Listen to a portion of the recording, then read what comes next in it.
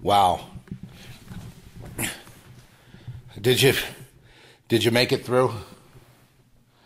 Incredibly hard day for me yesterday. Uh, unbelievable. The uh, but a breakthrough too in the end. And I was just praying to the Lord and and I talked to the Lord all night. I just Lord this, Lord that.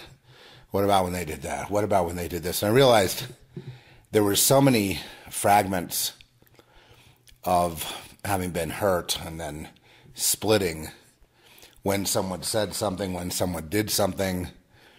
Uh, so much triggering that went on. But when I say splits, I mean another. It's like someone does something to you, abuses you in some way, and they, um, and then you don't deal with it. What you wind up with is a split, a fracture in your personality. You know, ba- based on having ha- having been fractured early, say in childhood. And what happens is when you don't deal with stuff as it happens, then those fractures and that delay kicks in, and uh, so you delay in your healing. Healing meaning taking it full bore, you know, being completely integrated and no matter what the world throws at you, you're just one solid person and you take it like that. And I suppose that's, you know, uh, maybe most people are in denial on certain things and fractured this way and that way because of things have happened. I know that uh, with people returning vets, they don't want them to have firearms because they feel that with post traumatic stress, there's too much, you know, chance they might go off. And it's like, well, fine. Why do you send them there in the first place, especially for useless wars that like we're in? Why do you send them there in the first place? Or why don't you train them better? You know, uh, to to to deal with the psychological uh, impact of war. Why don't you tell them and help to prepare them psychologically? Why don't you know? And the answer is, well, Satan likes a lot of crippled, split people, and most people are split in a certain you know traumas have happened that they didn't deal with and they don't realize it, but there's a whole other part of their personality that can be triggered by people um, close to them, say like a mother or a you know a spouse, or they can say just that one thing that hits that nerve, and then uh, and then they flip into some other kind of mood or some other kind of uh, person, and it's all based on pain and avoidance. So, like when things happen, okay um, you know, say, say you, and you can't deal with it. Like, for example, um, it was the Bible that really helped to kind of get me to accept that the world was owned by Satan, you know, and that basically there's this other world right next to this one where these people exist and they can only exist on the blood of the Lamb meaning on the sacrifice of innocence.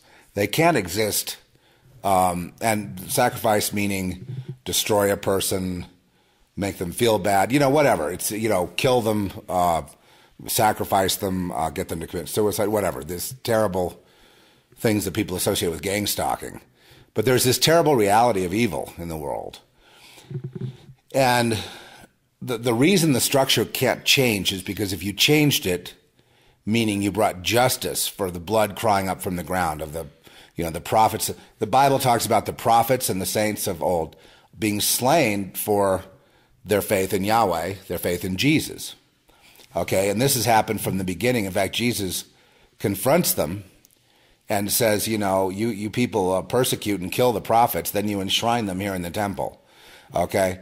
So there's a lot of attention given to this reality that we have on earth, this spiritual battle. And this spiritual battle is, I would say, um, knowing about it is half the battle. In other words, realizing that the the satanic reality is hidden, the people that belong to it are are basically remain hidden, and they're not going to say they belong to anything. They're going to claim to be the secular world because it is the secular world. But the secular world could not exist without the blood of innocence being spilled, without the bloodletting. Just the same as the Mayan culture, the same as this culture, same as Indian culture, same as Egyptian culture, and so forth. These civilizations have all been built on the blood of the lamb slain from the foundation of the world. So that, you know, the idea is don't ever be a, a Yahweh person or a, a person following the Lord or the truth because you might get hurt. So be in here with us, you'll have protection. And then if you want to go to church, that's fine, or whatever. This double minded, double standard situation has existed, this double world. And when you when a person is innocent and if they don't know about this reality and they're getting hurt by it, they don't understand what's hurting them. And then someone gives them a hint, you know, you need to be on Satan's side or whatever at some point in their lives, you know, while they're broken and they're on their way to, to, to going out. And if they be a pure heart, they, of course, they wouldn't understand that.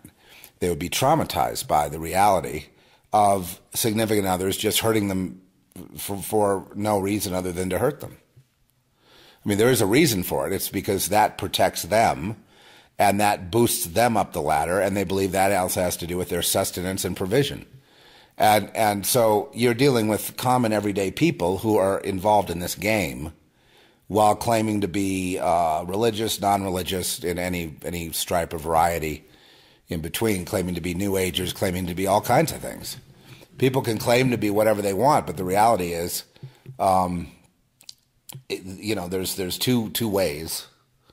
And one way um, has persecution attached to it and yes, in America, the, the, the true people are persecuted here as they are everywhere else in the world. And um, may not be as obvious, but it's uh, because it's kept out of sight. And the other thing is that if you don't participate in the satanic system, then they feel like, okay, we can't trust that person because, I mean, what would they do? They would want retribution at some point for all the bad things that they've done to people, hoping to get away with it hoping that they're split and, and traumatized and fractured so they can't ever fight back. Because if they ever did fight back, then they're worried about that's where people get worried about, say, the mass shootings. Although all these mass shootings that you see have been psyops, have been um, by the satanic people, like that kid that uh, shot the school up. He was a Satanist. So there you go. You know, um, the what Jesus did for me was basically to make me understand the world that I live in and help me in the Word of God, help me to be okay with it. In other words, I would contend for the faith and I would get through it for the faith and I would allow myself to be hurt for the faith and I would, you know, uh, not persecute my enemies for Jesus because that's the instruction. And, uh, you know, because really no one is really a direct enemy. I mean, it's nothing personal. You're an enemy, you know, that if you're on uh, Jesus' side, if you're a lamb, then you're, you know, naturally an enemy of the world. And so, you know, the world uh, has all its surreptitious ways of getting at you, whether it's poisoning your food, making sure you don't get a job, uh, making sure that you get cut off, putting you on the street, you know, on and on and on and on, whatever kind of thing it is, you know, blocking any career path you might have had making it so that you can't get through the world and that you will have no career path and you will have no, you know, you will be a total loser if you follow the, the truth. And then your faith has to say, I know that Jesus Christ will get me through this and I don't owe anything because that blood paid for me. So I don't owe them legally. Legally, I owe them nothing. And I'm going to stick with that and I'm going to, I'm going to stay with my faith, knowing that God will get me through it and seek to obey Him and not listen to what the world says or other people say or suggestions, you know, Job's friends might make or anybody else. In other words, I'm going to contend for the faith, knowing there are risks, knowing, as the Apostle Paul said, um, we are um, lambs to the slaughter all day long, is what he said. And because of what I do, my life is in danger, he said again and again. You know, there's a, there's a price to pay for contending for the gospel again and again. The same people, as I said, from the beginning of time for thousands of years, like I say, they kill the prophets, they kill the saints, they threw the Christians to the lions. In America, they, they have, uh, if you're not a Satanist, basically what they do to you here is they, uh, they block, you know, avenues of career advancement, all kinds of things. They block the way. Um, and, you know, I don't know, you know, so many people blame themselves, okay? This was my problem. I blame myself. I'd work really hard, got really good grades in school, for example, worked really hard to, to, to get along, to try to fit in and whatnot. And it, I just wasn't getting the same result as someone who didn't work as hard and um, had lesser grades and lesser achievements. And I thought there's a disparity here. And then I noticed that certain people, you know, would be able to get away with all kinds of things, and you know, like politicians, for example. Whereas an average person, if they try any one thing, they get punished. So that there was a a way that these people had, and I studied it for a long time, that they could put off the blame on other people or put the consequences off on other people through their you know rituals or whatever their, for, through their spiritual practices uh, in uh, in uh, devotion to Satan. And about talking about the Anton LaVey Church of Satan, that's of course a joke, as most people know. That's when I say Satanism, what I mean is, in a sense, secularism. No one dare call it Satan or talk about God, Jesus, Satan, and none of that. It's not that. It's it's it's secularized. It's it's a secret system, like a secret society, that, that people do what they will and they don't say anything about it, and it's all done kind of in the open, and you know, it's not with the hooded. There is the hooded reality in the woods and, and sacrificing of animals and babies and all kinds of things, but the common day to day thing is more of a a connection thing, you know, like an emotional connection, a connection with a certain spirit that informs the people what to do and how to do it and they do what they're going to do, um, and they coalesce their, you know, always for their own advancement, and and again, they're able to advance. They they do bad things to other people. There's no consequences, and you know, and it seems like then their careers advance, and they advance, and they do really well, and you and you say to Yahweh, oh, Almighty God, why is there not the same justice for them as there is for just regular people that, that don't know anything about this. Why is, is life so harsh for them? And yet for these people, they seem to be able to even murder people and, and they go up the ladder. And they get more and more power and they play golf and they get big houses and they just seem to, you know, it, it's just nothing really sticks. And how, how does that work? Is, you said in your word, Lord, that you said in your word that if you you were going to reap what you sow, so you got to be careful because you don't want to, you know, reap the whirlwind. You're not going to go do bad things, and and you're going to stay the course, be honest, and and and and um, you know, have good regard for your fellow man, and not not not go out of your way to hurt anybody, not hurt anyone to get ahead. You're not going to do any of those things because you realize that if you did, you would reap what you sow. Someone would do it to you, and you wouldn't advance. But you see them advancing, and you're thinking, how is it that they can advance doing maximum evil? You know, we know if you have happen to glimpse it, if you happen to know, you know, the inside story on anybody or anything about how they got ahead. And uh, to a lesser extent, it's the same way throughout the whole world and then throughout all societies. So that, you know, then you get to realize, well, if you're if you're initiated into Satan's side, you know, if you're in the uh, Lucifer crowd, then basically um, you're a slave. And the only way you can advance is you have to have the approval of the others. There's a collective there.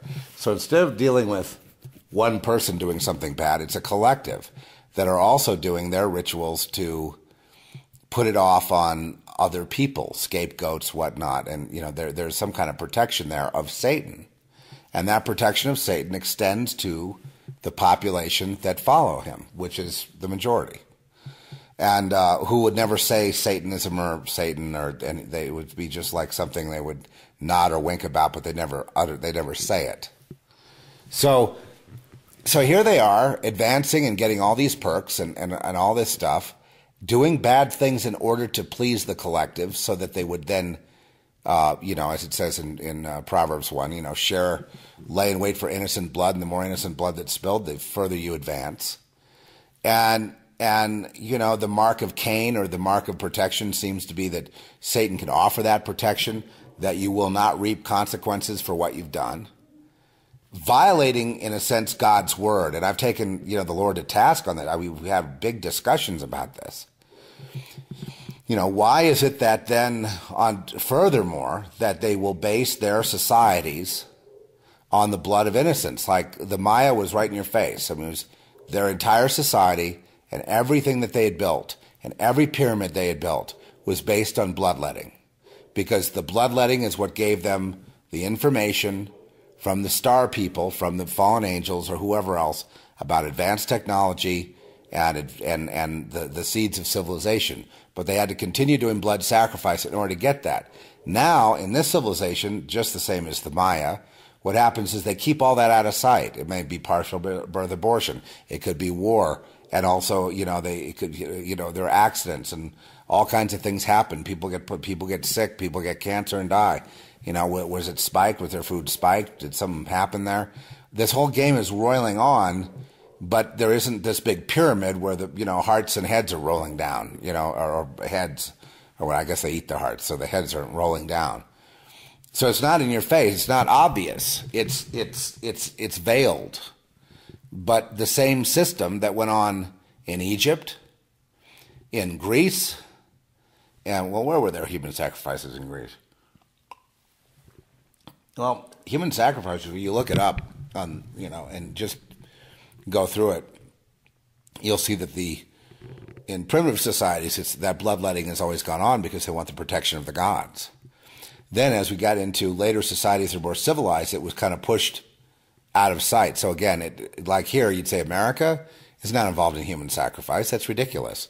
And then, but if you look at from our point of view, you know, the point of view of um, uh, bloodletting in order to, because when I look at the architecture of Washington D.C., it's clear they want to connect with the gods. That's obviously it's built as a temple, um, you know, and it, you know, and all these pyramids are pointing to Orion and Sirius and um, you know there's a whole mystery about where these these beings that were here being worshipped and then they went away but they left humanity with advanced civilization advanced technology even laws and things but there was still the human sacrifice there were even human sacrifices to Yahweh in the beginning you know before before Jesus. Obviously there was you know it's nothing new here. It's you know in other words it's been covered up so that people remain the innocent they don't realize that when the when when the Bible says the blood of the lamb slain from the foundation of the world, this also means for this world to exist, the blood of the lamb must be shed. In other words, the blood of innocence must be bloodletting must occur in order for these societies to exist. Slain from the foundation of the world that in fact the slain lamb is what made all this possible. So that without the slaying of the lamb or lambs, there could not be civilization. There would not be mathematics. There would not be science. You see.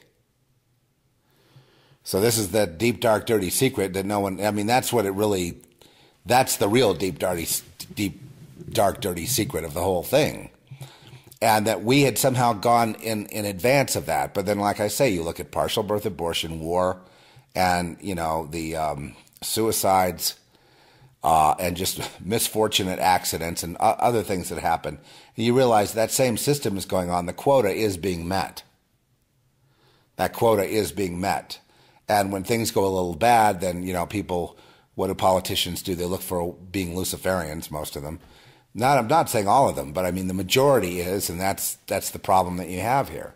The majority of people in Europe are Luciferian, and and the majority of people in Africa are Luciferian. The majority of people in South America, with Russia, China, you name it, it, China is a perfect example of a rank and file. That whole military dictatorship system is just completely based on the structure given by the fallen angels for how people should have a structure upon the earth. And um, and yes, the underground church there is persecuted, uh, just like here, the underground church are just the lambs of God, and they're not organized in churches because the you know people that are the whole purpose of church is to is to conform people to the satanic way and control them. It's the purpose of church in America is not to um, liberate people to freedom and have them do their own thing. It's so they can pay, you know, pay their allegiance to their pastor and to their church, and you know they can maybe get a referral to a job and bring that tithe in and be a part of that system. And basically, they're you know controlled robots.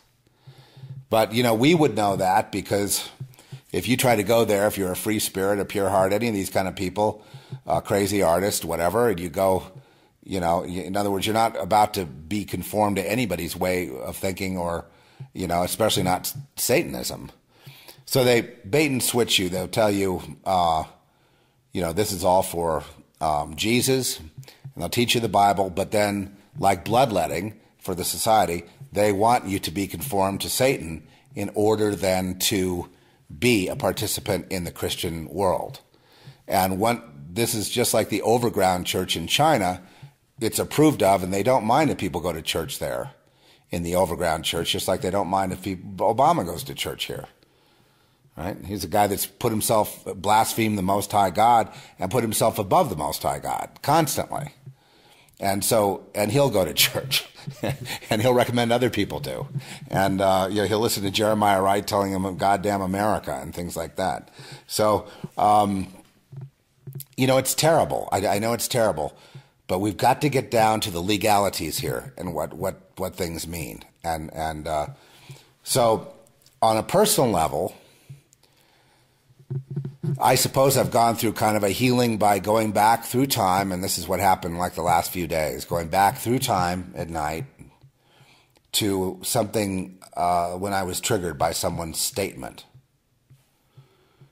Oh, you thought you were this, or oh, you thought you were that. When you really in earnest were trying to produce something or make something, and they said, "Oh, you you thought you were doing something." yeah, that that kind of statement um, totally shattered me. You mean all the work I've done is in vain? Yes. All the work you've done, Z, is in vain. You never, you know, you could work really hard, but you're not going to get any credit for it. You know, an idea like this some years ago shattered. I mean, it just, it, it's like that you put 10 or 15 years into something and you were told that it was invalid and that you know the your way is blocked and it will be blocked by these people who say that you must be like us or it's blocked. So that all the work you did was, of course, it was completely in vain and alone, and you suffered. But we just laugh at you because you're you're a joke. That kind of thing hurt me so deeply that, and I never dealt with it. You know what I mean? I just ignored that I heard that. I I would pretend I didn't hear that. I couldn't have a world, a two, tiered world. You know, where on the one hand, you're working hard and they're looking at you as a joke. I, I just can't imagine how cruel and mean that would be, and that people would actually uh, uh assume that's that's the way it should be, and not do something about it. So I take it to the Lord, and I'm like, you know, if this is the situation, now there are people have toiled 20, 30 years only to be told and laughed at that they didn't really count. No one was ever going to take them seriously anyway. They're not allowed. They haven't gotten permission to. Who told you you were a, a this or a that? Who told you you were going to be an artist or this or that? Who told you that? You have to have permission first, and then you do it. Well, that's like the deep dark days of the Soviet Union. You raise the children, you tell them, you're going to work here, you're going to be a laborer, you're going to be this, and you're going to be that, right? That's, that's, the, that's their system. That's completely anathema to all the principles of the United States. So that's enough to flip a person out that you're invalid um, and you're going to remain invalid until you change and become like us. And the answer is, but for the lambs of God, they're made, it's in their DNA, as we said before. Their DNA is a certain thing. There is no way that they can change. I mean, like I jumped through all the hoops they put before me, but it didn't, you know, it was like bounced off the mirror. You know what I'm saying? Other people did one or two things they were told and then right through the, to the other side. So it's a DNA thing. Some people are meant for that, some aren't. The wheat and the tares. The, and mark my words, they are all tares. They will all be slain one day by the Lord. It will be like Sodom and Gomorrah. It will be like a, you know a nuclear weapon type of thing. You know that they don't realize, and their seed will be lost, and their souls will be lost, and they will not be in the New Jerusalem, and they will not be anywhere. Just imagine a pastor who's got a big reputation, who's written a study Bible, being told, "Depart from me, I never knew you."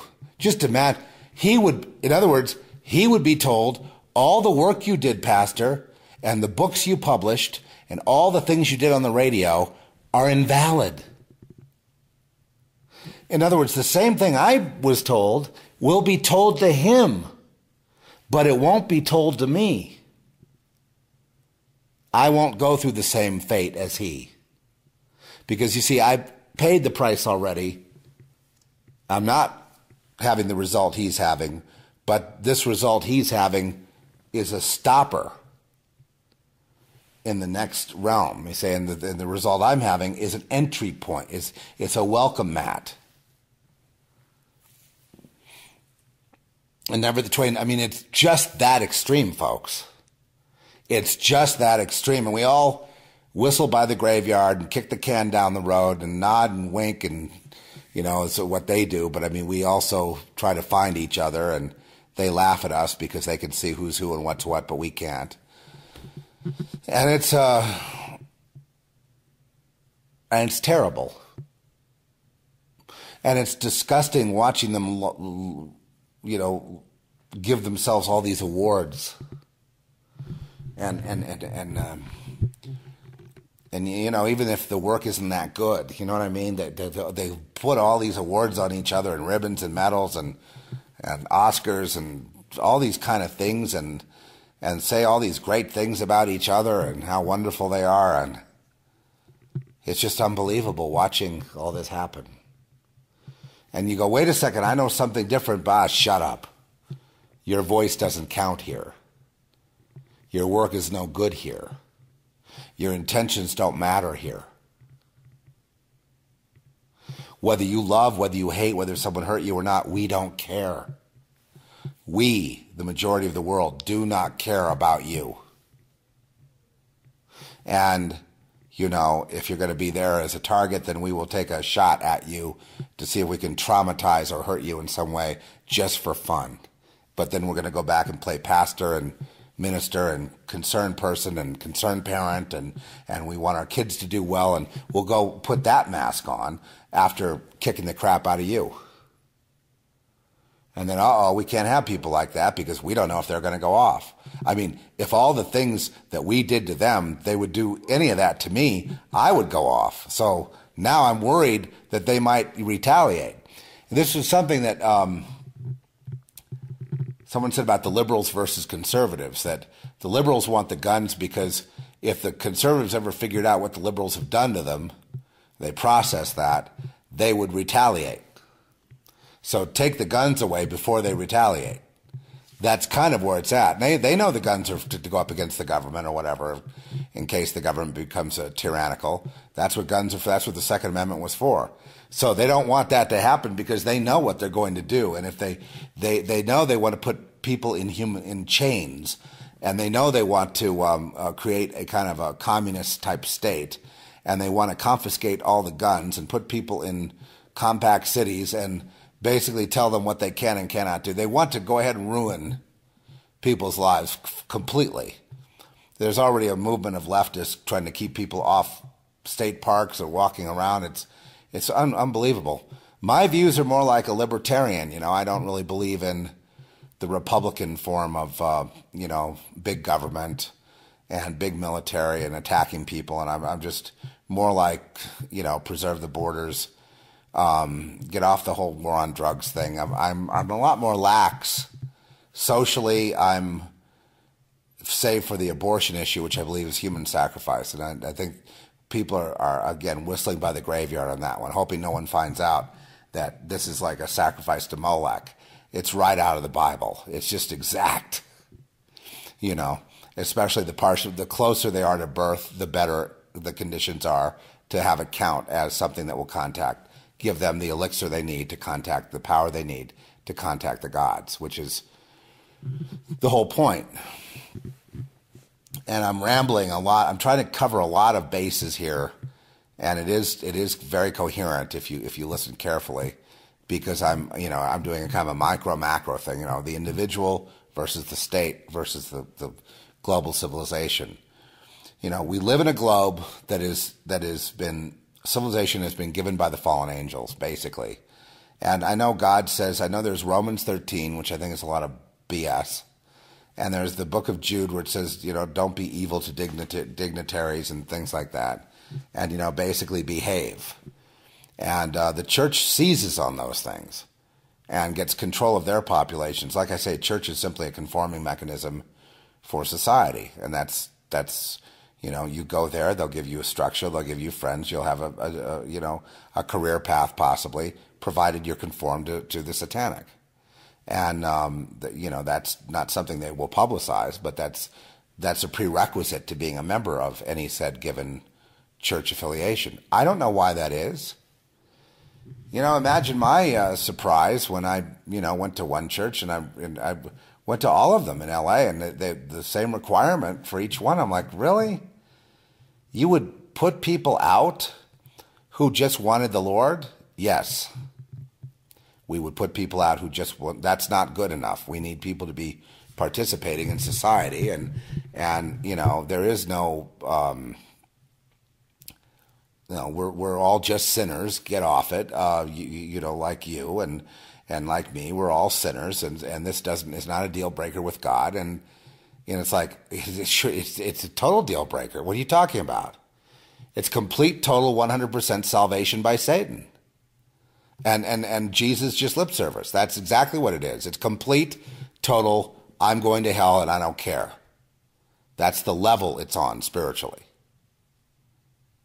And yeah, well, find me someplace in society that isn't like that. Yeah, any, any school, any graduate school, any guild, any, any corporation, find me someplace that doesn't have that same thing. We're here to help those lost souls that don't understand this and help them to become productive members of society, which Z we're, we're trying to would love to do with you as well, or put you under our meat grinder and and, and use you to uh, build our coffers. So that's the reality that you know, and, and I have to tell you, I confess. Let me just confess this. I I have had a really hard time. I suppose it was because in childhood I understood, you know, I saw it from a different level. I saw it from a level of, of forced ritual with the children and adults, where the mothers were like the PTA observing and, and setting this. I mean, it was insane. It was so it was beyond Rosemary's Baby, beyond Rosemary's Baby. And it was the norm. This was this was the just the norm of society. This was just business as usual. It was like, oh yeah, well we get this, and then tomorrow we're going to do that, and then we get together and have playtime with the children. We're going to bring in these and they bring men in to, and they want the children sexualized. And the, the, the women, the mothers, simply sit there and observe and watch.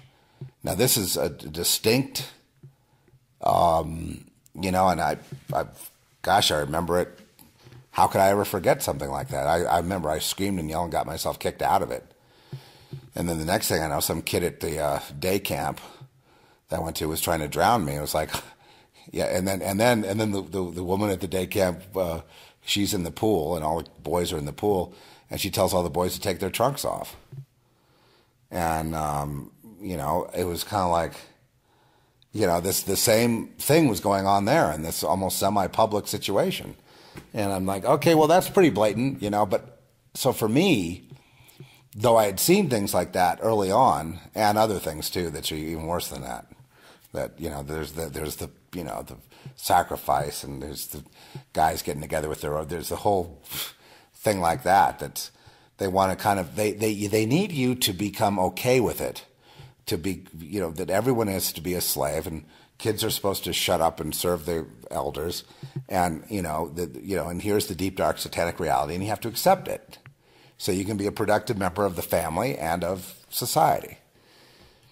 and those who can't handle it uh, wind up usually dead, I guess, or institutionalized. And that's been the deep. Now, I know some of the old timers out there, you're going, yeah, uh huh. So tell me something I don't know, Z. And it's a yeah, uh huh. So therefore, what's the next? Like people used to say, well, so what's the next step? Well, the next step is we have to stop it. and they start laughing. We, we can't, this is something we must petition the Lord about. That this is something that is so evil that the good that people do cannot, it, it, it, it taints it and taints all the good works as just being, again, part of that evil, corrupt tree that's bearing corrupt fruit. So we need to, you know, either chop the tree down, and of course, when you say that, you mean the end of civilization. You see, any rectifying of this situation would cause Babylon, this is Babylon, to fall. New Babylon, Mystery Babylon is simply another, you know, it's like you could say New Babylon or Mystery Babylon, either one is fine. It's the second Babylon. It's as it was before, it is again. And just like in the book of Daniel, you'll see Obama lining up perfectly, point by point by point. Um, and we're going to get into that uh, more later. But I, this was just really important to, to, to discuss because, you know, when it comes holidays and Christmas and different times, you, you tend to become depressed. And I became very depressed yesterday because of all this hurt, all this hurt. It's like I I can't have a good time, Lord, because I am aware of this whole situation and it really bums me out. And then look at and then we went over, you know, so and so did this, so and so did that, and all the attempted all the harm that was done that, you know, systematically and all the words that were said and the mocking and belittling and I'll, I'll, you know, basically, I just went to the Lord. I said, Lord, I've been tortured. I've been tortured all these years because of you, because I belong to you, because you are in me. And I've survived because you in me is greater than he in the world. But I have known real persecution. From the earliest time of my memories, I have known what it's like to be persecuted as a child without any rhyme or reason. Then their attitude is, well, if you've hurt him too much, you got to go ahead and institutionalize him because he might fight back, so you can't have that. It becomes like Herod killing all the two year olds, right?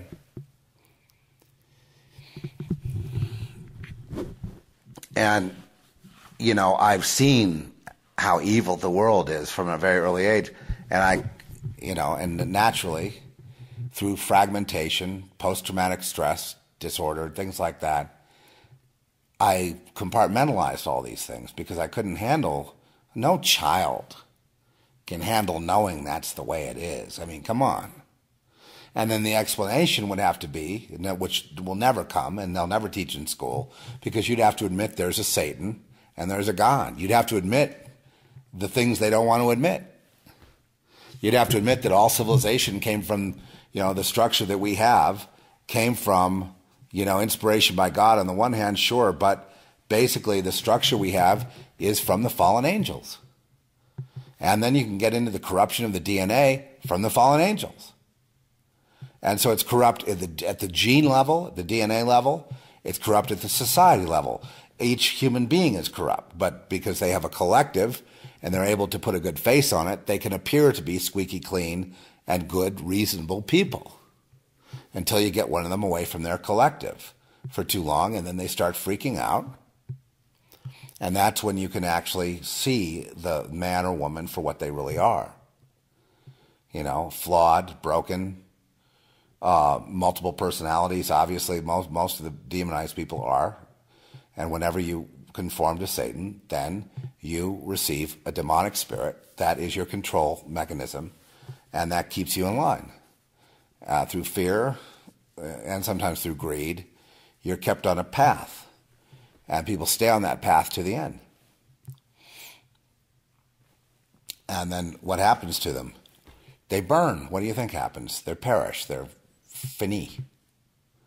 They're like the rich man and Lazarus. You know, the rich man, you know, burns in hell, right? I mean, you know, the burning in hell could be a metaphor. I, you know, the, it's almost like, but no one's conscious of them in real reality. Say, if you are the New Jerusalem, are there any? Is there anyone in, burning in hell? No, there isn't. Is there anyone somewhere else besides that? No, that's the only reality that exists.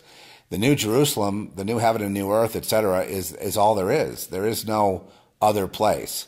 What about that Michael chained Satan down in the pit forever and ever? There's no awareness that the Bible, this history, there's no history that ever took place at that point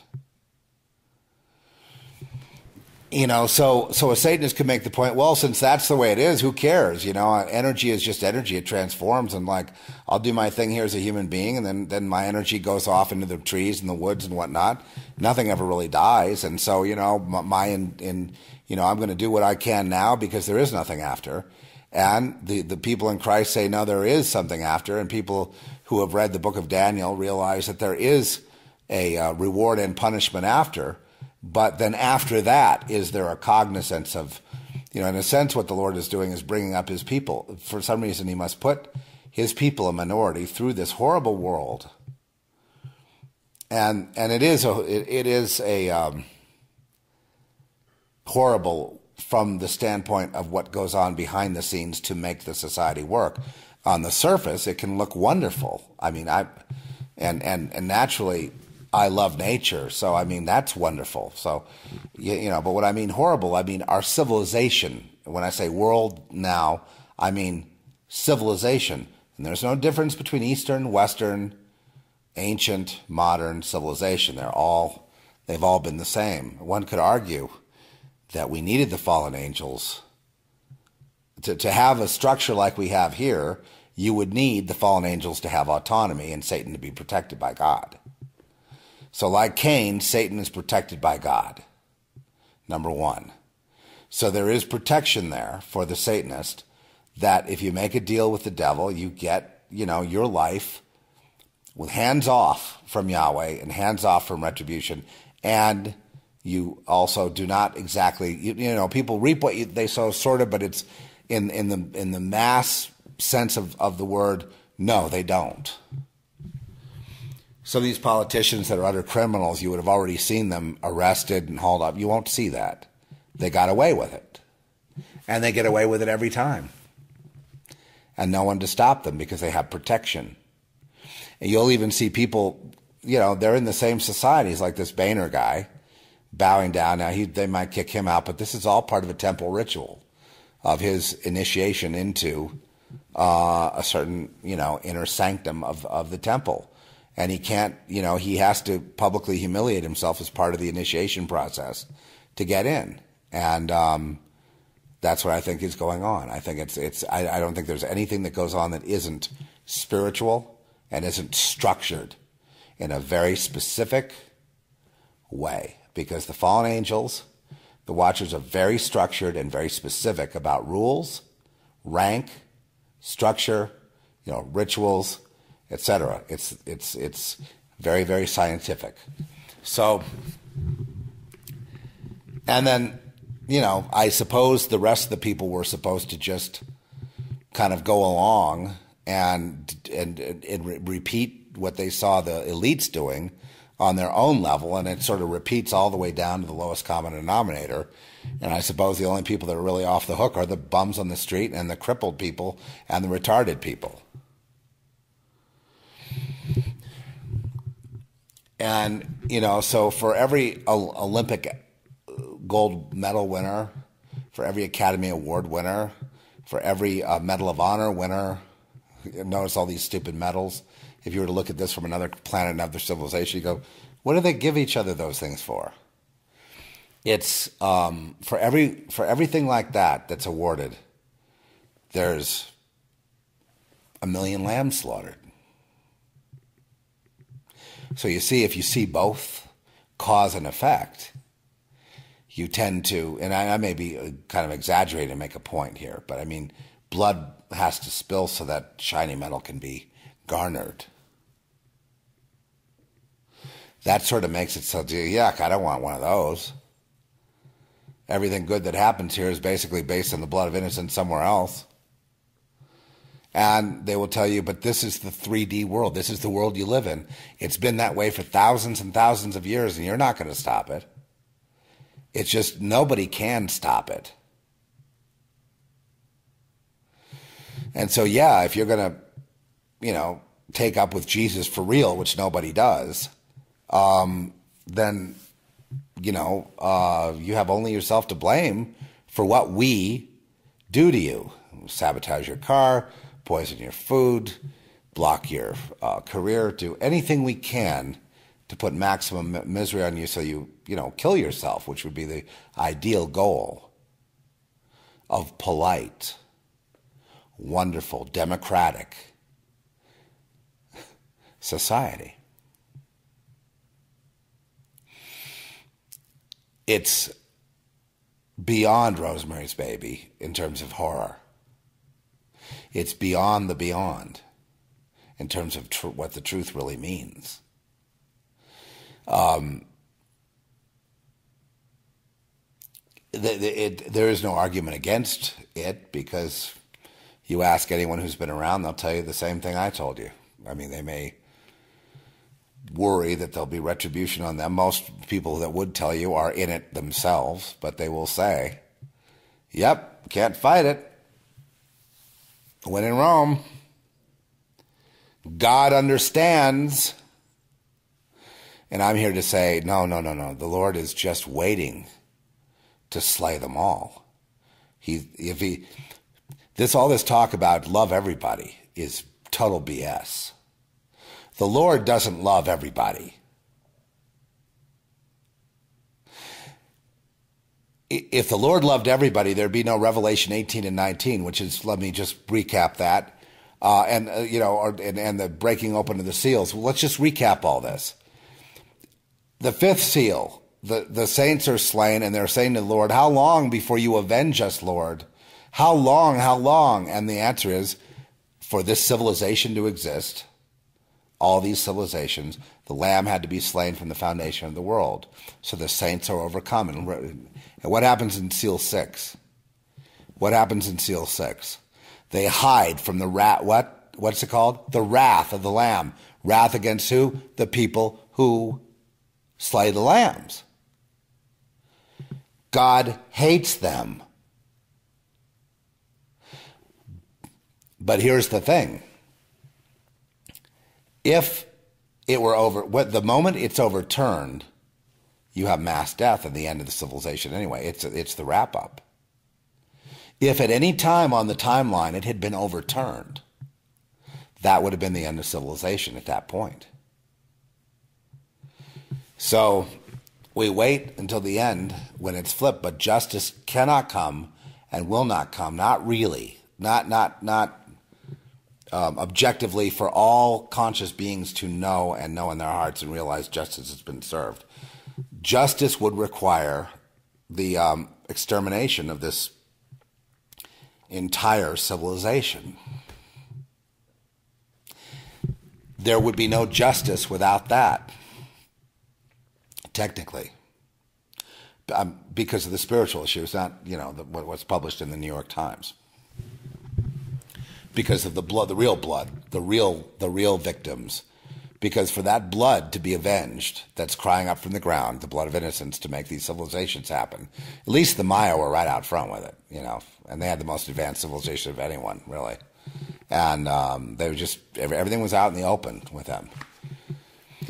Uh, but without um, this system remaining in place, then God's people couldn't really go through here because they're there wouldn't be a here to go through. And so that's what you're dealing with, and and you know it begs questions. So therefore, when you th- when you say justice, what do we mean? Uh, justice is God will avenge the blood of the lamb slain from the foundation of the world. And to do that uh, will involve the death of most of the world's population. And it doesn't matter whether they know anything about this or not. It doesn't matter. It's a legal issue. It's it's really more of a legal issue in a sense. Uh, it's a, it's not a moral issue for God because God is moral. There is no amoral with God, so it's not really even. It's more just like it's a structural legal issue, and it is also um, you know logical. So that's right. So so Jesus is the Son of God.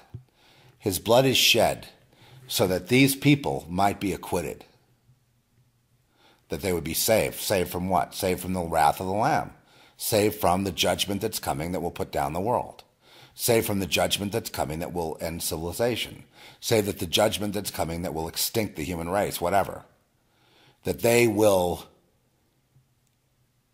take the forgiveness through the blood, the, the, the price they couldn't pay. God basically killing himself to shed the blood so that that blood could be appropriated to the believers of the Lord, of Jesus, so that they legally can have the covering of Christ and legal have the legal covering so that um, when justice comes, they're removed and taken out. And that's, I think, where the whole rapture theory comes that this judgment is not for God's people because they're covered in that way.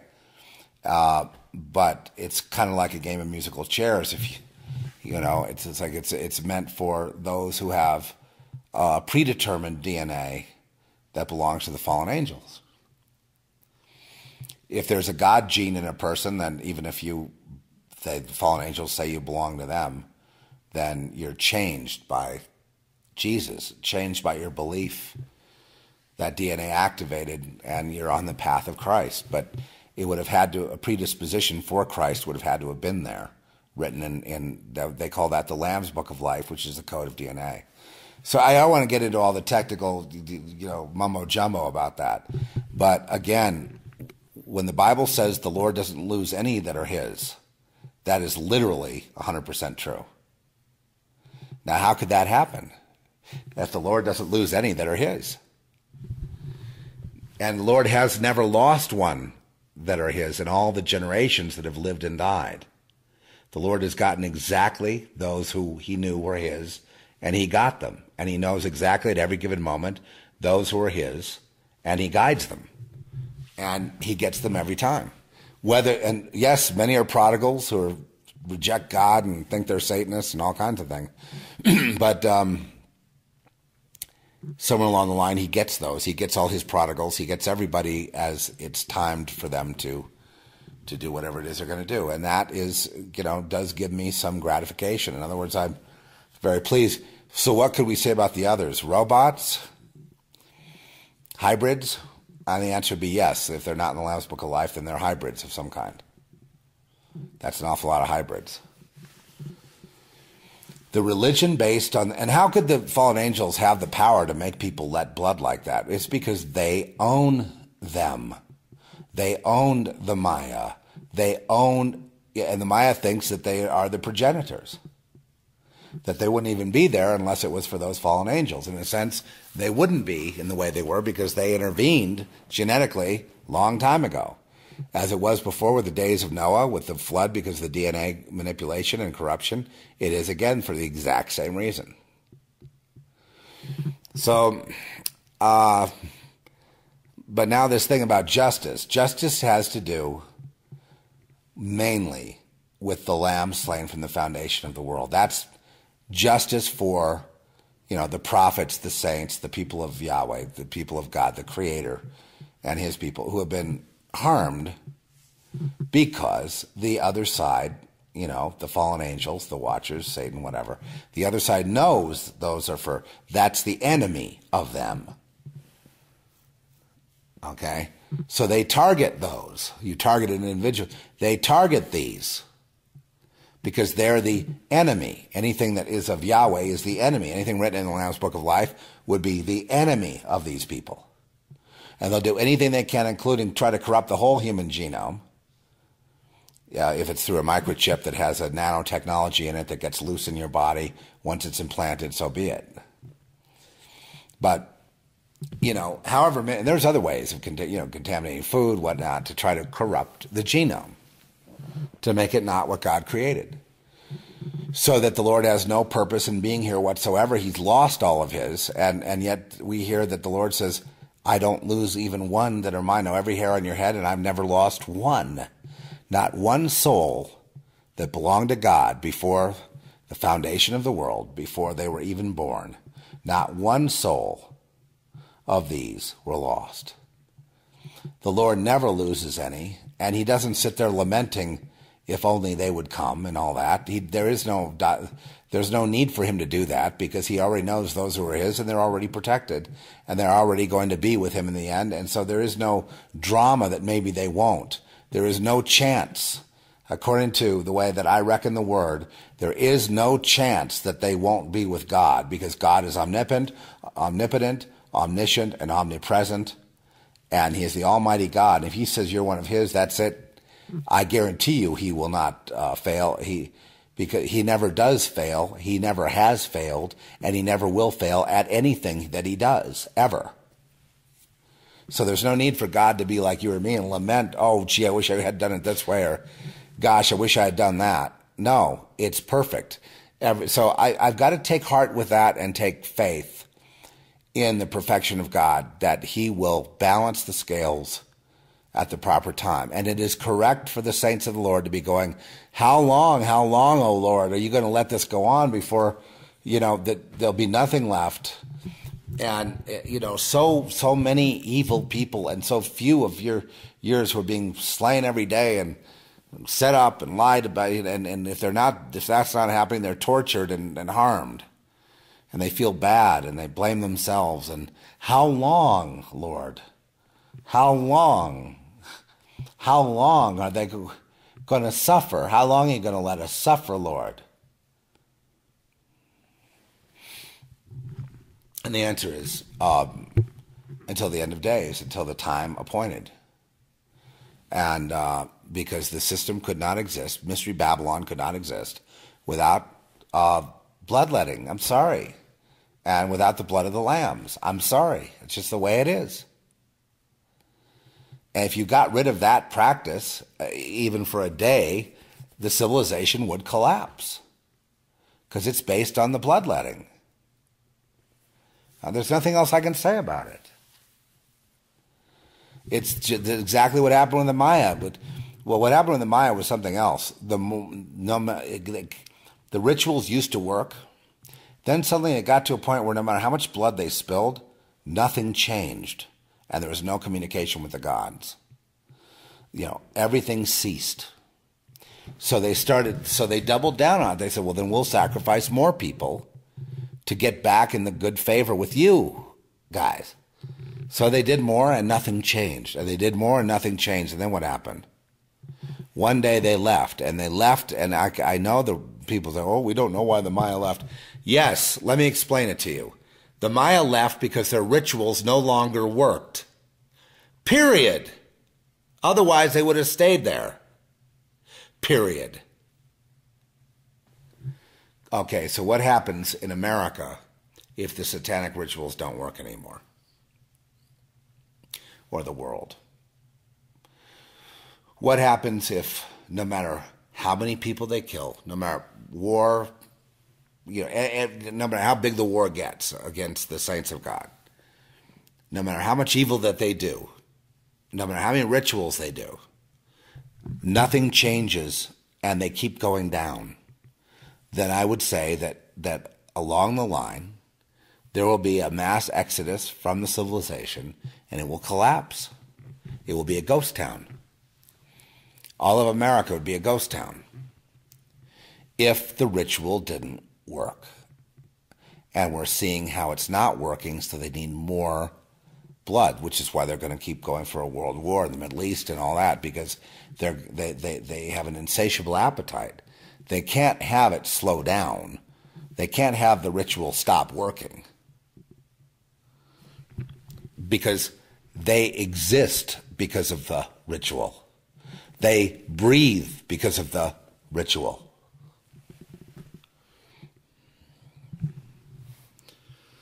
And that is the sick, sad, interdependent situation with the dragon and humanity. And unfortunately, um, the only thing that, that, that they will do when the ritual stops, I'm here to say, you know, no more lambs. You know, again, you know, reiterate that that um, well, just the population has gone down to uh, when God said no more lambs. It wasn't so much that don't touch them; it was more like I'm going to take them out of here. The Lord will move His people out of harm's way before this flip of this of the switch. Um, I don't know how what mechanism that is, but in, in a sense, if you want to call that the rapture, that's fine. Uh, we agree in that on that point that that on this one technical point that the Lord will move His children out of the way in in some fashion, but we're not sure what form that will take. Okay, then I could sort of contradict myself and stipulate that yes, that will happen. The Lord will protect His own. Will it be 100%? I don't know. I don't think so. Um, you know, we don't have a collective salvation. We're not going to have a collective harpazo, uh, you know, catching away. It's um, it's it's it's strange. You know, it's not easily put into a box. But in general, I would agree with you, and that's the important thing. In general, you have the Lord's. You know, the the punish the thing that's happening here is not meant for His lambs, and you can see that obviously. So they will be moved out of the way. There's the issue of first fruits. We we went over this last night. We went over everything. Oh gosh. And uh, my question was: Are there 144,000 first fruits that will follow the Lamb wherever he goes? You know, Revelation seven and fourteen will follow the Lamb wherever he goes, and they'll sing a song that, that they know that no, they'll have, they'll be tuned to a certain frequency, and they uh, it doesn't mean they're following him around the clouds. It just means they're kind of like interdimensional beings, sort of like angelic in a way, and they have autonomy. You know, they're sort of a preview of what's to come for everyone else. So, will they? Um, are there that many here? Because I'm actually thinking, you know, maybe what the what the rapture is is just through attrition over time, the saints are just moved out of the way just naturally. So it doesn't. There's not this great right, and and uh, and then let the games begin. They'll slaughter each other off. That's what will end up happening without God or the saints being anywhere even near.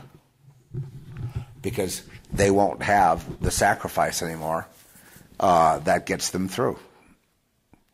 That gives you a whole other perspective when you hear about Daniel and the sacrifice. The word sacrifice used in the book of Daniel about stopping the sacrifice and or they restart the sacrifice which means the temple sacrifice. But I mean, looked at on a deeper level, what is the temple sacrifice but a metaphor of the slaying of the lambs, yes? Isn't that what it is? More or less, structurally. Isn't the temple ritual simply a metaphor? And isn't ritual in and of itself simply metaphor? Doesn't magic, when they do something inside the pentagram, doesn't that stand for something outside? It's a metaphor, isn't it? Okay. So, so in other words, these rituals are metaphors to create something in nature that's favorable to the to, to the people. And when that stops, civilization collapses. And I'm here to tell you that it will stop, and civilization will collapse. And and to, to know that your salvation draweth nigh.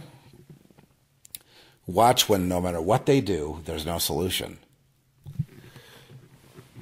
No matter who's in power, there's no no solution. and also watch how they they manifest it by creating wars to jump into. So back to the traumas. So I went over just about every bad thing anyone ever said, you know, that would show that there's two worlds. The thing that would trigger me is like when there was evidence that there's a satanic world. I was to the point where I didn't want to see it. I didn't want to know it. And I just, I believed it didn't exist. I had actually gotten all the way to the point where I didn't think anything like what I just described in this talk today that anything like this existed. But if anything threatened that knowledge with a little, some kind of statement or some kind of triggering word about that there is something else going on, I flipped out. I mean, I just got white with fear. I had to run home. I had to go somewhere. I had to hide because I, I, I in my reality, nothing like that could be. Nothing like that could be. And you know, part of it was just being damaged early as a child, and, and you know, then going into denial, and, and you know, then then when people would violate that denial, they became the enemy. They they would trigger me into realizing that the world is run by a set of rules, uh, by a set of people that have been here thousands of years, and um, they have a pretty much an ironclad grip, but they don't have a grip on the true saints of God. And that drives them insane. We went through every person, many who had posed themselves as brethren to me, um, made statements that showed they weren't brethren. You know what I mean? That indicated they were not one of us. That showed us that they knew about something else and um, we've we've you know it doesn't mean I reject them, I hate them. I, I pray, you know, for people. There's a lot of prodigals, like I say, who were there, but I mean they defend it, meaning you know you you you were barred from a career, like that's not what you're supposed to do, or some kind of statement like that. And I would know, then that means that this person is affiliated with the other side, with Satan, and, and, and, and supports the structure of career advancement that is laid out before uh, these um, um, initiates, these beholden and belonging to through a contract to Satan. And so the person making a statement such as that would, and then saying they're a a lamb or a Christian or whatever, they'd be like, well, that's not true because that's not true. You know, um, it's just as black and white as that. And when, when you know, when when people would violate the mask that they have on in the masquerade, it would really upset me. I'd, I'd be like, well, I go into denial and I pretend I didn't hear it to myself and convince myself nothing like that was said, even though it's triggering me on a bunch of levels that are, um, you know, a demonic attack and so forth. It's triggering me on a bunch of levels. And um, I realize I'm losing control. And I realize I'm, um, you know, myself now being handled by the enemy and I have to break out of that. And uh, so it's this ongoing struggle not to be handled, this struggle not to have friends who will make statements like that. You know, like um, like people I had met earlier, where they say, "Well, you know, so none of your work counted. You never did." You know, and saying it matter of fact like that shows me that they their affiliation is still with the world and they're not one of us even if why they're around i don't know probably as, as a handler I, I don't know i don't know but you can't have both in the same vessel. You can't have someone saying nothing you do, do matters because that's the rules not knowing the rules. And for me to have found out all the rules it took many years. And then you know just assuming it, and then saying they're a lamb on the other hand. No, the lamb would say, um, you know, gosh, you, know, you, you you really worked hard. That was like a lot of years of dedicated work. I mean, you know, it, it, it didn't work out because you really belong to God, but it's cool. You know, you're a completely emancipated adult being, and I accept you and love you as my brother, and I love you as my my you know brother, my sister, my whatever, and you know we're just in the same thing. We're contending for the faith, and this is just persecution. It's all good. It's all cool. We all understand, and it's the right way to be. It's the way that it was supposed to be, the way it was intended to be, and all is right with the world. See, that's what I expect. When I get something different than that, a slip here or there. In the past, it would trigger me into silence. See what I mean? There was like a, and then I would immediately become self destructive. In other words, it set off a self destructive thing of, um, which would immediately start punishing me for uh, being me and or who I am in Christ, in God. Uh, the other form of uh, punishment is we're all one, we're all the same, love each other, blah, blah, blah. So there's no difference between me and these perceptions, the church, the this, the that, the politicians. We're to love each other, love everybody. You know, that is another tactic. And when I hear that, I think that I also, in the past, have been triggered by that. Um, that's that faux Jesus stuff that I hate. That I hate. The, I hate these people. I just seriously. Well, you know, I hate them. Not meaning personally hate them, but I mean I hate. Let's just put this way: I hate what they do. I don't know them personally. I wouldn't want to know them personally. Love everybody. You know, imitate Christ. Someone on my page said that the other day. It was like, not one of these. Oh, please. Uh, but it didn't trigger me. Usually, it would trigger me into becoming yes, self-destructive. Right. That's always what would happen. And, and then I would miss it.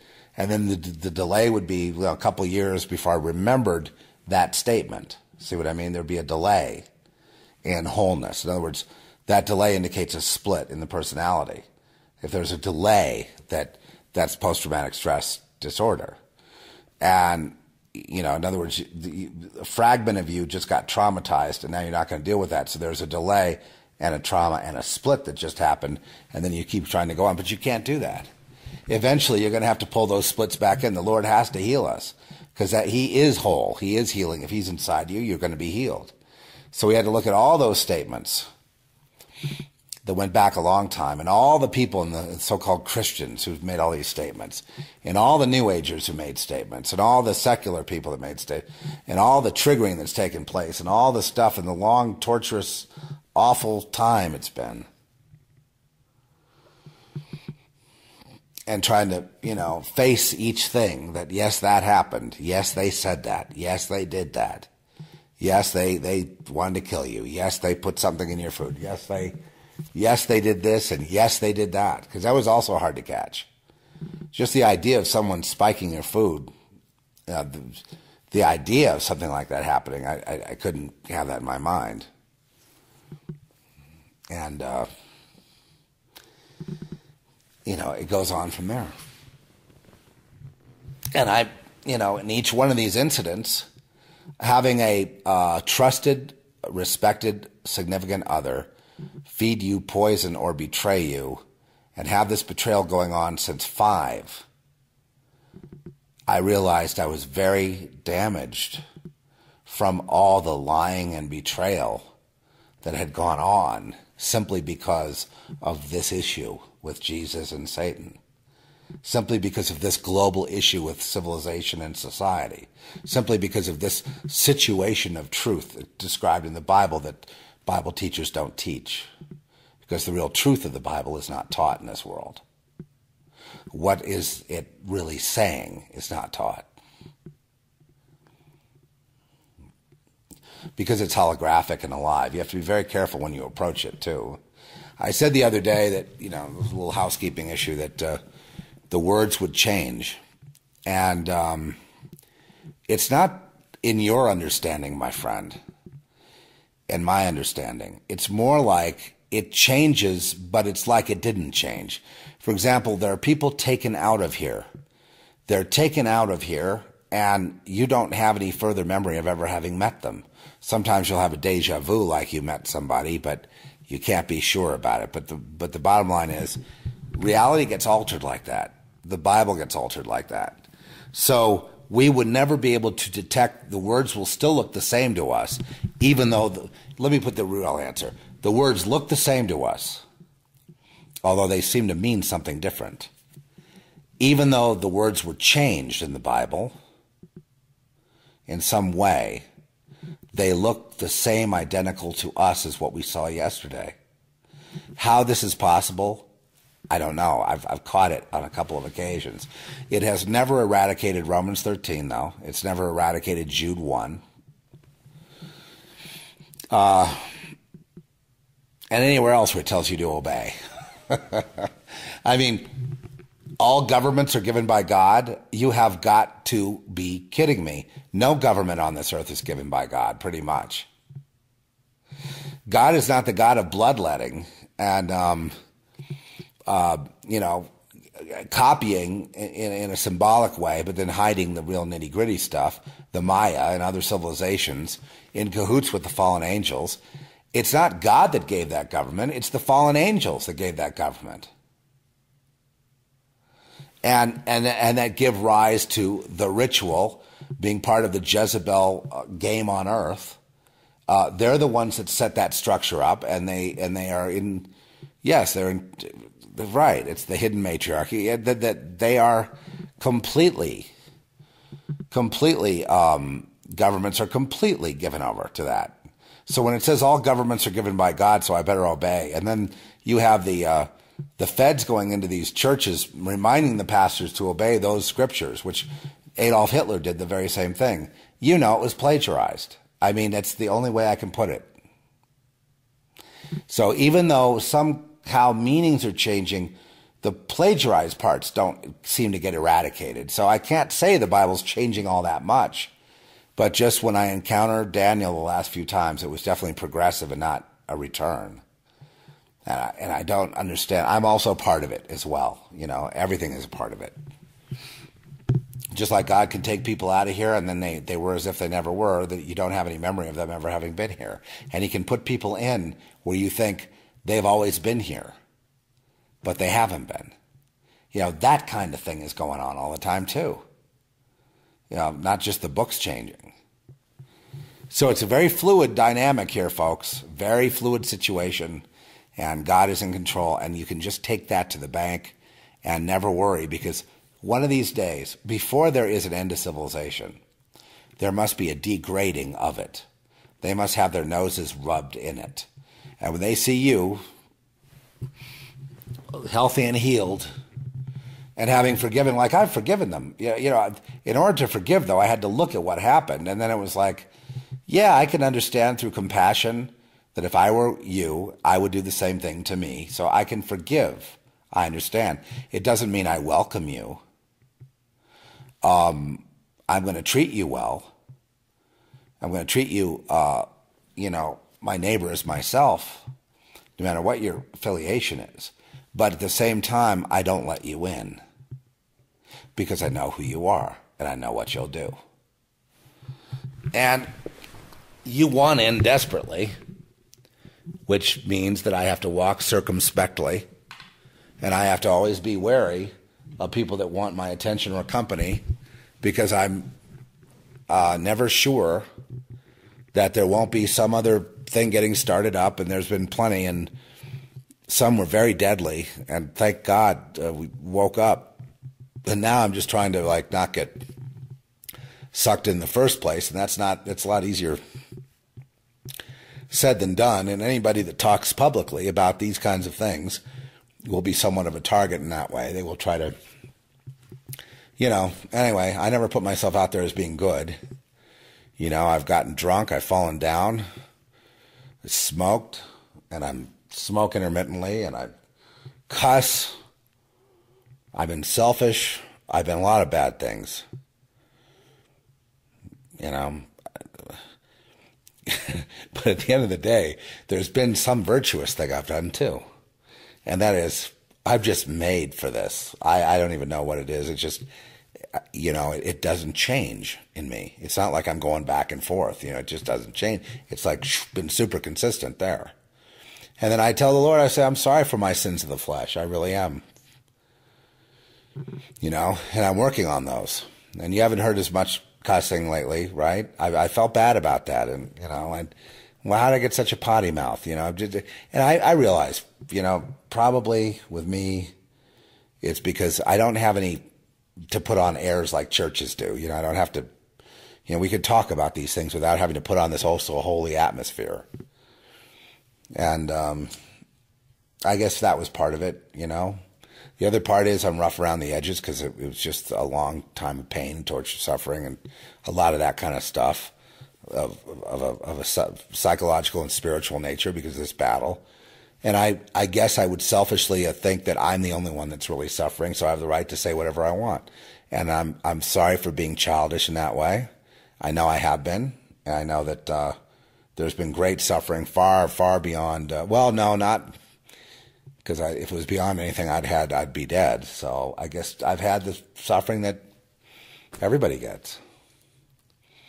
And, you know, my heart goes out to you. I've, I've I'm sorry that you've suffered too. And I know I get emails from people that say, well, no matter what you say, Z, why can't you help me? I got implants, you know, and they're targeting me. And it's like, I, I just can pray over you. I, you know, the implant, I probably have them too. You know, I, there's the whole weird aspect of all this that we're not even addressing yet. You know, but I know one thing. You come into this world and you get targeted for no good reason. There is a reason. You know, and so there are people that are, for no good reason are being followed and laughed at, you know, gaslighted in the street and, and, and, and imitated and mocked and, um, you know, surveilled and, and, you know, that has got to be a terrible reality. I think what happened to me is I, it may go on. I just, I just ignore it, I guess. You know, I became dull to it all. It, it was like such a common thing. Um, you know, you have to understand that the all-seeing eye in in the world, you know, Lucifer, the all-seeing eye, tracks every soul, theirs, ours, everybody's, 24 hours a day. So they know who is, you know, with them and they know who isn't. So obviously, most of these targeted individuals, they're not Satanists and they don't intend to become that and they're not going to be relied. They're not part of Satan's army, and they're not going to be relied upon. Um, and so they're outsiders. So they're a threat in some way, and and and so yeah, they'll turn up the uh, the microwaves and the um, you know surveillance, electronic surveillance, and and whatever. I've I've just kind of let it all hang out on Google and. Google Mail and you know public. Um, all my sites are semi-public, like SoundCloud and Re- Reverb Nation, Podbean, all those I opted for all those rather than having a web designer try to, you know, do all that. And it's been a, you know, I think a pretty good strategy, you know, using social networking for that, uh, for, for, for getting the word out, using the very excellent podcast that was invented back in, you know, the early part of this uh, century. You know, uh, just about 2003, 2004, in came the podcast. To me, that beats being on the air that beats um, you know live, but that beats live radio. The the the pod is transferable, transportable. Um, it it never goes away. They're out there somewhere. Um, people all over the world hear them. You can't beat it. It's just it's just an amazing thing. And and so I think what we all ought to be doing is really focusing on the highest. No, I understand the need for some live radio and stuff. I know that uh, our friend Kanita is out there. He's he's got a live. Uh, I don't know the time. I think it's on Sunday. A live uh, talk show on Blog Talk Radio. So I know there's a need for that and for need for live prayer, and, and I think that has its place. But for me, it's been this this medium has been the one that I embraced, the one I was shown, you know, would work. And what are we doing here? We're enlightening people as to what, and teaching people as to what this whole thing is all about. It's we're not really. I'm not really sharing opinions with you. I'm just, you know, putting to the best of my knowledge what I believe are facts on the table about this situation, and trying to talk about it in a way that doesn't make me sound weird or like a conspiracy theorist or whatever. Um, there's nothing new here. Um, but enough people have reacted to, to me in such a way that I believe they're proud and bold about their rank in Lucifer's system.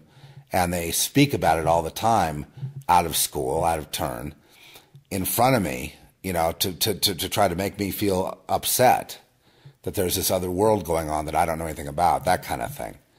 And, um, you know, to, to, to try to jar me and it doesn't really work. I'm I'm well aware, but but see, it's happened so many times And that's how I finally mapped out their world and then finally traced it to uh, the pyramids, to the thousands of pyramids worldwide that represented civilizations that have come and gone upon the earth. And when I did my artwork back in the 90s, I did this painting with a pyramid and then uh, these souls floating in space, you know, like white light beings of light, with their umbilical cords going to the pyramid. And it's like, wow, you know, and then some also automatic kind of writing, backwards question mark or upside down question marks, backwards threes, sevens with a line through, uh, going backwards, and with two lines under the under uh, just beneath the uh, cross stem of the of the seven, and other things like that. You know, were kind of laid in there almost like hieroglyphics. And uh, eventually I got rid of it. I mean, it disturbed me. I, that's why I don't have it up on the wall. It disturbed me. It's not something I want to hang on the wall. I also did a picture once of an alien that it was so scary because it, you know, I had gotten the alien came into the house and, you know, the, the ships were bothering us and, you know, and, and those eyes were looking at me. It's the same thing that people feel this paralyzing fear to the depths of a, a, depth that they didn't even know they had, which means you already have a familiarity with those little robots. They already know you, you already know them, but you're not aware of, of what the connection is. Otherwise, it wouldn't be. It would be something different that you'd seen, and that the eyes wouldn't be able to trigger you to this deep, deep fear trigger that was put in by them somehow, probably with DNA but designed to get us to obey and comply and be frozen in their presence. Otherwise, how could a three and a half foot tall being carry you anywhere, right? They'd have to have some way of controlling your mind. No, that's not natural, is it? That's not something that God's word explains how to deal with. Probably due to editing. Who knows? No, I'm, you know, is the is the Bible the infallible word of God? No, it's it's it's fallible. You know, it's fallible. Um, the whole Bible is fallible in the hands of the wrong person. The Bible is at best Rhema when handled correctly in the hands of the right person. And it's not talking about the context of the time in which it was given historically. It's elevating to the level of Rhema, that is a message for you from God by using the medium of the Bible. And um, you know that's very rare most of these pastors they they they put it in you know they want to you know especially evangelical ones they want to talk about context and history as a comparison to some obvious thing today in society and they gloss over this part that we're talking about here today.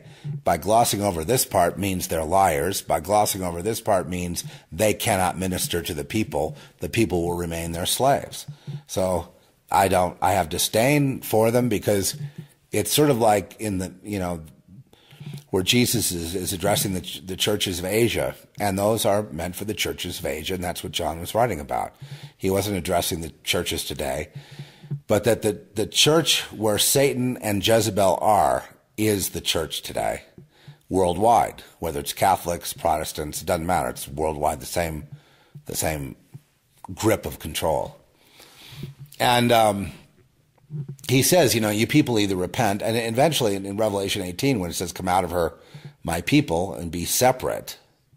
And it says, be separate in the Old Testament, but I mean, the New Testament is come out of her.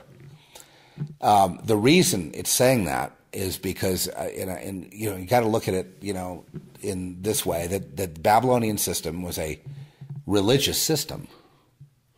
So the mystery Babylon would be what? The Church of Jesus on the outside, but mystery Babylon controlled on the inside.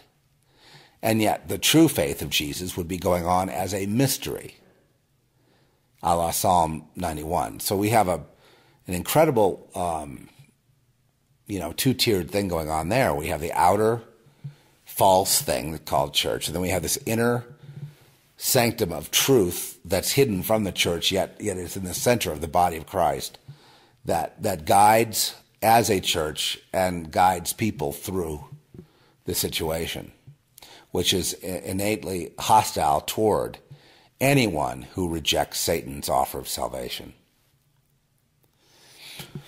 Meaning, go along with us and, and we'll make sure you have a career path and a life and, you know, you'll have a structure and a wife and kids and you'll have a shot. Um, I'm just so thoroughly disgusted by that and by people that would actually attempt to wield that sort of power that I would throw up on them if I saw them. And, and with glee. Because I, I tell you, there is no place for a, a human being like that in this world. If we revere goodness, honesty, integrity, you know, children, and so forth, a little bit of that leaven would leaven the whole lump. The whole thing would go corrupt. People like that should not be allowed to walk around on this planet. They should be held. Um, you know, you know, they should be chained like Satan in the pit. Um, they shouldn't be school superintendents, pastors, uh, corporate uh, CEOs, or anything else. They should not be in the positions to set policy in the government, and they should they should be nowhere. I mean, this is like the psychopaths, right?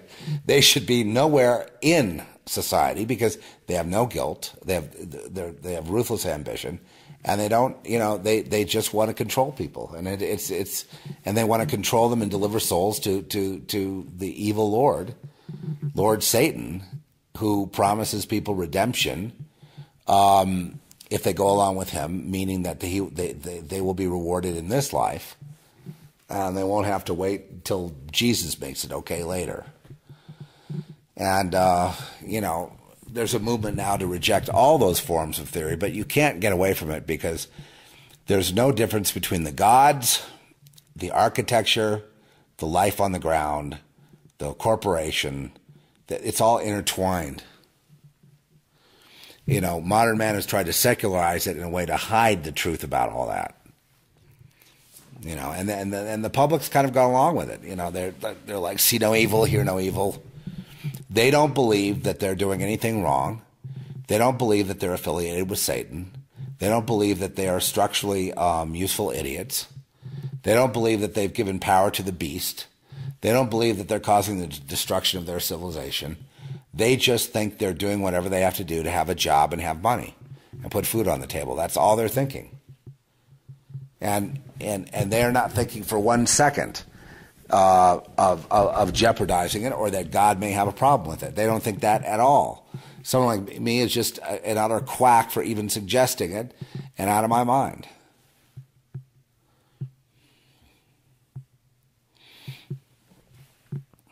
And out of my uh, and out of my mind. And the thing is, is no, I'm not out of my mind. I've I've worked it out. Um, you know, as a life's work.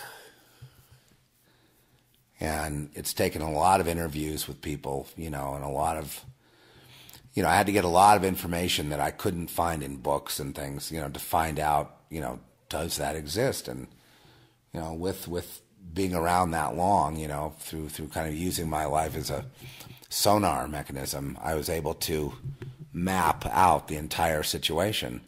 And I guess the final crowning touch of it, the final graduation ceremony for me, was realizing that the um, you know the pyramids and the societies of old and, and, and of recent time are all tied in, and that civilization itself, Western, Eastern, this civilization, all of it is tied together with the same source. Um, God does not give all governments that, of course, is a lie that's found in the Bible. We might as well just say that and get it out of the way. And however you're going to deal with it, you know, I, I believe the Bible is sure the inspired word of God, but you have to weed out some of the uh, some of the propaganda that got laced in there. Over it's, it's it's it makes sense to me if man wrote it, it's inspired. But if man wrote it, there'd be you know problems with it. You have to be able to discern. I you know, the, the, way that they get away with Romans 13 is by telling everyone it's the infallible word of God, literally on a surface level. So therefore, they can shove that Romans 13 down the throat of evangelical pastors, and they have to go along with it. once you understand it's inspired but fallible, and and uh, you know that, but it's the inspired word of God that it really is supernatural. You don't throw the baby out with the bathwater It's just because there's misstatements and, and, and troublesome statements. You have to work with them. But in all the years of working with Romans 13, there was never been a way to get around it. And um, in other words, the statement does not mirror reality. If you want to say that all governments are and all things are in, under the control of God and word it that way, then I'd say, okay, then Romans 13 makes sense. But the idea of obeying evil because God said it's a, I'm you know in other words doing evil because you think God's at the head of it asking you to do evil is what the point is here. Of course not. If the government wants you to lie about a certain thing under oath, uh, and, and, and you say, well, all governments are given by God, so you gladly lie, you are basically blaspheming the Lord, and that's not what He said to you. He doesn't want people to lie. And the Lord is a living being. He is, he's absolutely a 100% living, talking, thinking being that, you know, you can relate to it. And, you know, but don't always expect, if you're really in touch with the Lord, it's, it's not always going to be what you want to hear. You know, just like when you encounter the Bible, it's not always going to be what you want to hear. But, you know, uh, did, did uh, Paul write Romans 13? I don't think so. Uh, he might have written something there, but I believe it's been edited, and and there's a, uh, there's just nothing I can do, and that's going to put me at odds with all evangelical. I'm not I'm not going to be saying something is true. Um, does God oversee all the goings on on earth? Yes. Did God give all the governments? No, the governments have been given by the um, from the beginning of time, the structure of societies based on bloodletting comes from the fallen angels, from the pyramid, from the obelisk. And in Washington, D.C., we have the whole thing laid out before your very eyes. You don't have to make this stuff up. I mean, that's who, whoever invented those things is the one who created this civilization. And, um, you know, there's some very good ideas in it about liberty and tyranny and freedom of religion, but there is no freedom of real religion. There's a form of godliness, but denying the power thereof. That's really what we have. So I'm going to go. I, I, do believe we've, we've, we've covered this. Um, so if you're traumatized by any of this stuff, okay, that's logical. You should be. But should you get triggered through your being in denial about it to then go self destruct? No, you need to fight against that. God doesn't want that. You know, you need to heal from those things and those people that have hurt you. Some what I've had to do is kind of relive them and say, yes, okay, they tried to do harm. Oh, yes, they were going to, you know, they were going to light our house on fire. Yeah, they were going to, you know, yeah, there's, wow. You know, that really did happen. That they really did do that. They really, really did say that they really intended this or they intended that. And I know it was hard for you to look at that. But they really did want to do you in. They really did want to destroy your life. They really did have you tossed out of your job. They really did that in an attempt to get you to commit suicide or whatever. Yes, it was all under the color of law and all meant to look anonymous so that you can never know where it's coming from. Yes, absolutely. Absolutely. They did all those things. What are you going to do? You're going to look at them and you're, you know, you got to process them. Yes, in other words, this is the world we live in. And, you know, be, be wise as serpents, gentle as doves. Be, be vigilant and be aware because your enemy, you know, uh, be uh, sober, be vigilant because the enemy, the, the, the, the devil is wandering around like a hungry lion looking for whom he can devour. 24 hours a day, along with his henchmen that are constantly looking for their next sacrifice. Yes, that subterranean world we described, that really is going on. And yes, all the, the, the rock groups would all have to pay homage to it because otherwise they wouldn't be able to be famous rock groups. It's all tied in with the Illuminati, which is all then tied in with the uh, with the, with with the structure of civilization, which is tied in with the Watchers and fallen angels. It's all tied together.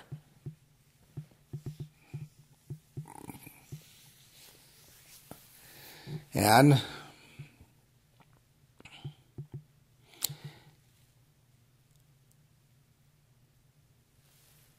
knowing what we know, it's not easy to go forward. You know, it's you have to do. You really have to be of sound mind in terms of recognizing what you're dealing with, and then being okay with it in a kind of an abstract, detached way, where you're not feeling. You know, I I would opine with the Lord to uh, bring His justice and then, you know, I see why it, it can't be until the end of days because, and I understand how long we're waiting while the Lord's people have been kept out and pushed down and harmed. And I realize the blood for and the, and the this cries for justice, just to even acknowledge someone existed and were treated badly and slain, it, just that alone um, uh, you know, it's hard to take knowing it's crying, crying, crying up from the ground, wanting the Lord to set it straight and tell the truth to the people. Just to tell the truth to the people about where they were born and why and what this is all about and where they're headed. And, but that's all been covered up by very, very short sighted people. You know, people that don't, that, you know, they made a deal with the devil in hopes that they would be protected and they wouldn't have to pay the fine and they wouldn't get in trouble. And they were assured that you come in here with us, there won't be trouble. No more than just the normal amount of trouble, but there won't be trouble. For them out there, the unwashed, they get they they they're the ones who take the blame, not you. But because of the vast numbers of people that participate in civilization, um, the only way to to have justice of Yahweh, to, to, to bring justice to the world, is to overturn it. And that's billions dead. And um, the Lord will do it. But first, the clarion call for his people to come out and be with him. So they are not visited upon with all the plagues and horrors that are written in the book of Revelation somehow they escape it. And I say hallelujah to that. And like I say, rapture people and me, instead of calling it the rapture, let's just agree on that part of it. The Lord is good. There's no point in punishing you for what they did. You know, that's true. That's like a no brainer. And with that, I bid you shalom, shalom. It's Zeph Daniel. This is the Zeph Report. And if you're just tuning in the first time, very unusual um, to to get hit with a download of this much stuff in in one day. But there's other podcasts we have going back years, and some of them may, might help. And it's kind of a, a little bit of a, uh, hodgepodge in terms of uh, abstracts written. I tend to want people to tune in and find out what, what it's all about rather than write it an abstract about it.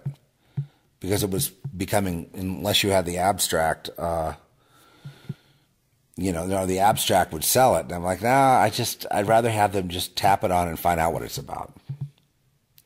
So that's kind of a new, t- you know, a one sentence abstract, um, I think is better than trying to explain. Explaining doesn't get anything done, and I don't think it gets people interested. Why should every single person be interested in this uh, talk? Because you're all part of civilization. You're all part of a corrupt system that will one day be put out of existence. You're all part of something where the rituals done to keep the status quo going are no longer working in average people's lives. No, they shouldn't have been doing those in the first place. I'm just saying they're not working, are they? So we are headed for some kind of cliff. And I'm just explaining to the average person why. Now, the experts already have it all figured out. Why things are the way they are. I said goodbye, and now I'm going to talk again.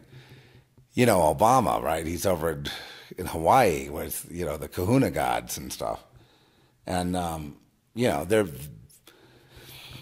basically, you know, they're trying to, Hawaii is the place over the, the, the solstice and the Christmas time and, and over this time of year where um, communing with the gods, which part of it is a physical thing with the planets and all that, uh, would be most advantageous where he happens to be right now.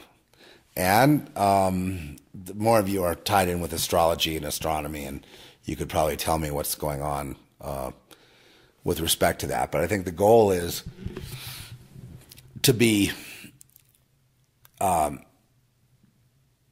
inhabited by, um, you know, the serpent.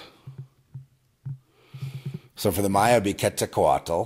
For us, it's Lucifer. Whatever. It's you know the the to be you know to be powerfully chosen and indwelt to be the one, and people are looking forward to the return because this has to happen before the coronation, which is going to be in January. The coronation and they want to they want to coronate their Messiah, the Prince, the the the the, the Lord um, Satan. I mean, basically, uh, it doesn't mean they'll be successful, but I mean that's that's that's um, I'm not the only one that said that. I'm not the only one that said that.